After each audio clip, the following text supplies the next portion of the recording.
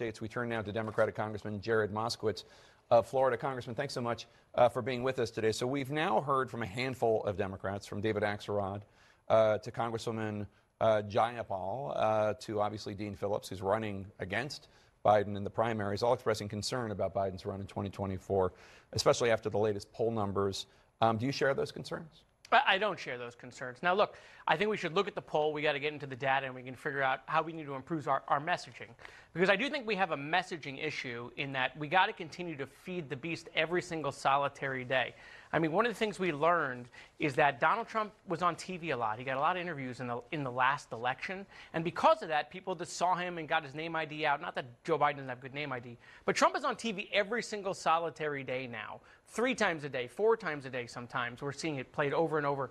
Joe Biden's got to get out there. We got to get our surrogates out there because we do have to message not just to young people. We have to explain what Donald Trump is going to do if he returns. I mean, there, I just read an article of the 18 things Donald Trump would do if, when he comes back. Some of them are just outrageous, like de- starting to deport people, Muslim bans all over again.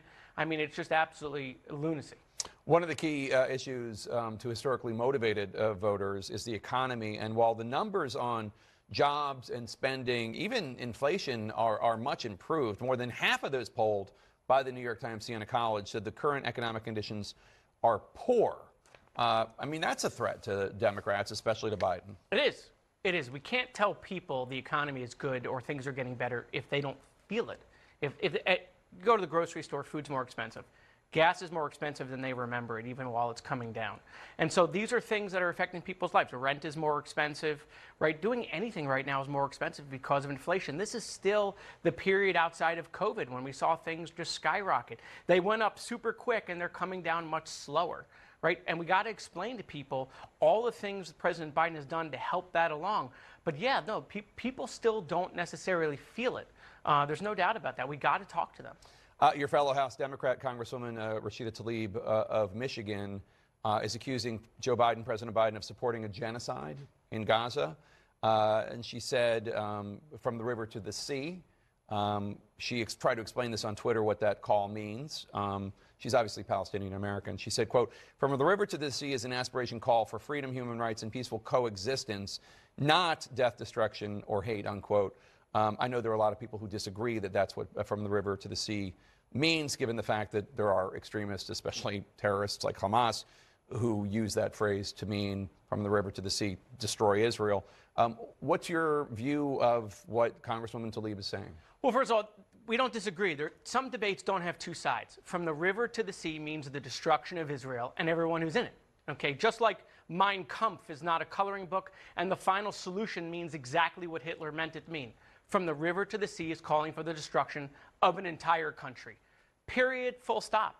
Uh, and so, look, Congresswoman has a First Amendment right. She can say whatever she wants. But at the same time, Congress has the ability to express their displeasure with a fellow colleague of ours calling for the destruction of a country. What if we had someone going around saying France should be wiped off the map? I mean, we would, we would think that's outrageous, but somehow from the river to the sea is debatable. It is another ridiculous double standard when it comes to Israel.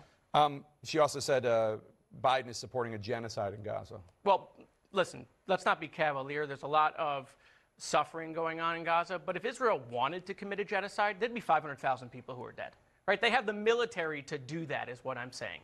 Right? But that's not the case. Not only that, she's using numbers that are given to her by Hamas. By the way, Hamas also doesn't differentiate in the 10,000 people that they say have been killed there. They don't differentiate between Hamas fighters and civilians. They lump them all together. Right? And so, listen, there is absolutely tremendous suffering in Gaza. There is absolutely civilians that have been killed. And there have been kids that have been caught in this. And that's Hamas's fault. Hamas knew Israel would have an overwhelming response. Now, I support humanitarian aid. I support pauses to get the hostages out, but there could be no ceasefire uh, with, with Hamas. Instead, we should be calling for Hamas to surrender. How about that? How about we call for the terrorist organization to surrender instead of a country like Israel defending its people? It sounds like you're contemplating supporting a censure resolution against her if there were one.